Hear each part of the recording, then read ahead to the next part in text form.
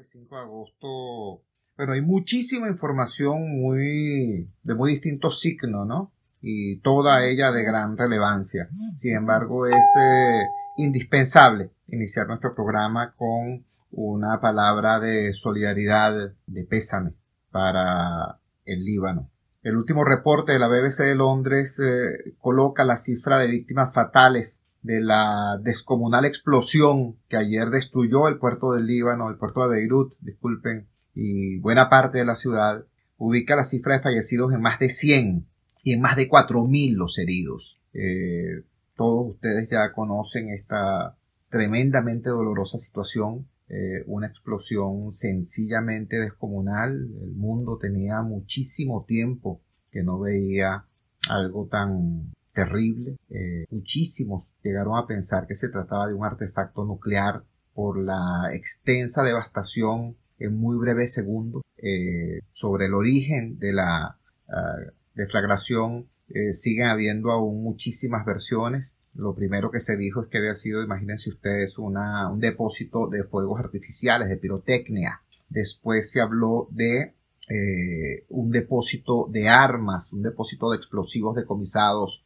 y eh, literalmente abandonados en algún depósito del puerto de Beirut. Eh, finalmente, hubo una versión cuasi oficiosa en el sentido de que había un cargamento de 2.7 toneladas de nitrato de amonio, sustancia altamente explosiva, altamente volátil, que estaba, ah, que había sido decomisada en el puerto de Beirut y que estaba almacenada, imagínense, desde el año 2014 en la zona. En todo caso, oh, ya se verá, ya se verá, ya aparecerán las causas reales de esta ah, tremendamente dolorosa, tremendamente impactante situación que se vivió ayer en la ciudad de Beirut. Yo le doy mi palabra de solidaridad y de pésame a ese pueblo, a esa nación y a la importante comunidad libanesa que está presente en nuestro país. Eh, creo prudente, creo pertinente que nosotros los venezolanos hagamos una reflexión independientemente de que no se conozca aún el móvil, el origen real, certero de esta tremenda desgracia,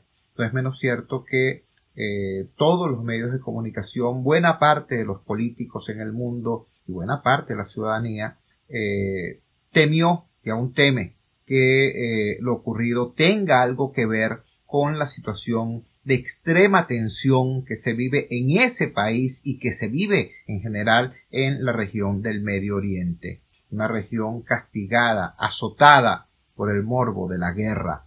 Digo que nosotros los venezolanos tenemos que pensar eh, muy seriamente a propósito de lo ocurrido en Beirut, porque todo lo que existe primero fue pensado ese teléfono celular, ese computador, esa tablet con la que usted me está viendo, eso primero fue pensado por alguien, primero fue diseñado por alguien, primero fue pensado, conceptualizado por alguien, luego vinieron un conjunto de procesos técnicos que dieron lugar a que usted tenga en su mano ese bien. Pero eso que pasa con su teléfono, eso que pasa con su computador, eso que pasa con su tablet, ocurre prácticamente con todo. Todo tiene que ser pensado antes de que exista. Bueno, lo mismo pasa con la guerra, ¿sabe? Lo mismo ocurre con la guerra. La guerra tiene que ser pensada antes de que ocurra. Tiene que ser eh, eh, invocada antes de que ocurra. Tiene que crearse la situación eh, política, psicológica, afectiva, emocional que dé lugar a que efectivamente un ser humano vaya y asesine a otro por un motivo político, económico, religioso, racial.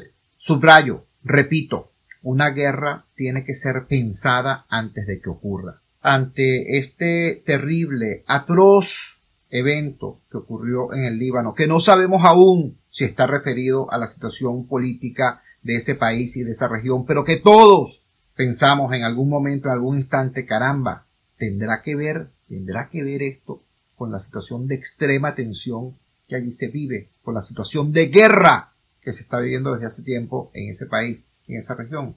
Bueno, pensemos a partir de esa preocupación dura, pensemos en pensemos en lo que ha pasado acá en Venezuela, pensemos de cómo, pensemos en cómo este país y este pueblo es tan noble, pero tan noble, que a pesar de que tenemos desde hace 20 años a un régimen sembrando división y sembrando odio y separando a los venezolanos en bandos, buenos y malos, buenos hijos de la patria y pitiyanquis, escuálidos y patriotas y bla bla, todo, toda esa, toda esa verborrea tóxica y divisora.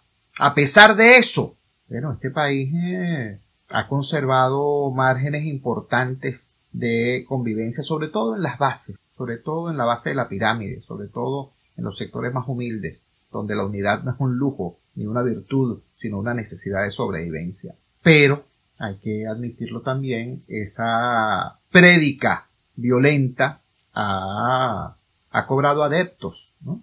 Hoy hay venezolanos ¿no? Que dicen, y por cierto, no les falta, no tienen razón, pero no les falta motivo. Dicen, bueno, pero es que con estos tipos no se puede ser demócratas, porque ellos no lo son. Con estos tipos no se puede ser esto, no se puede ser aquello, no se puede ser decente, porque ellos no lo son. Ah, sí, vas a actuar eh, desde la paz, desde la democracia, contra unos malandros y esto y lo otro. Yo los escucho, los leo con respeto, porque sé además que están hablando así no por capricho, sino tras dos décadas, tras 20 años de maltratos, de agravíos, de ofensas, de provocaciones. ¿eh? Pero sí les digo lo siguiente, el reto de los demócratas, el reto de los venezolanos, no es ganarle la guerra a nadie. Nuestro reto es mucho más difícil, pero mucho más verídico. Nuestro reto es construir una paz tan poderosa, construir una paz tan musculada, construir una paz tan definitiva que sea capaz de aislar, derrotar, vencer y someter a los violentos. Ese es nuestro reto. Ese es nuestro reto repito, es mucho más complejo que eh, tirar la moneda al aire, la moneda de la guerra, y ver de qué lado cae, si cara o sello. Porque mientras la tiras y vuelve a llegar, puede pasar muchísimo tiempo. Tú no sabes, tú sabes cómo empieza una conflagración, pero tú no sabes cómo termina ni cuándo. Por eso, repito, ante esa monstruosidad que vimos ayer, ustedes la vieron, ustedes la vieron en sus teléfonos celulares, Ustedes la vieron en las pantallas de sus computadores o de sus tablets. Yo no tengo que agregar nada más a ese horror. En segundos, en segundos, desapareció parte de una ciudad. Debo decirles, por cierto, una ciudad hermosísima.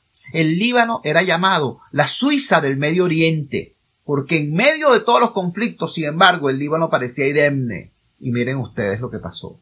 Bueno, déjenme recordarles que hace apenas 25 años había un país al norte de la América del Sur que era una joya. Era la vanguardia de la modernidad en América Latina. Tenía la economía con más recursos de América Latina y uno de los niveles de vida más altos de la región. Y tenía, por cierto, una democracia aparentemente consolidada. Existió un país así. Érase una vez un país así. De hecho, era la puerta de entrada al mercado latinoamericano. Cualquier producto, cualquier artista, cualquier campaña mundial que intentara llegar al mercado latinoamericano entraba no por México, no por Brasil, no por Argentina, independientemente de que eran países más grandes, no, entraba por Venezuela.